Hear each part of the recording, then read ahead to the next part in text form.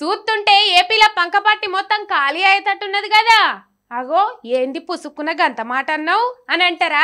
లోపల లుకలుకలు షాన్నే ఉన్నాయి. కానీ మీదికి చూసేదందుకు అన్నే మా పానం అన్నే మా దైవం అని డైలాగులు దంచుతున్నారని బయట టాకు. మాజీ మంత్రి సుచరితక్క మాట్లాడిన మాటలంటే గది నిజమే అనిపిత్తది.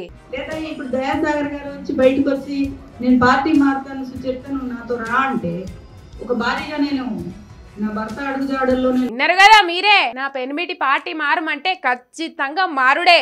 ఎవరు అడగకుంటేనే వాళ్ళ పెనిమిటి చెప్పకుంటేనే ఈ మాట మాట్లాడిందంటే అక్క లోపల పార్టీ మారాలనని బగ్గనే ఉన్నట్టున్నది.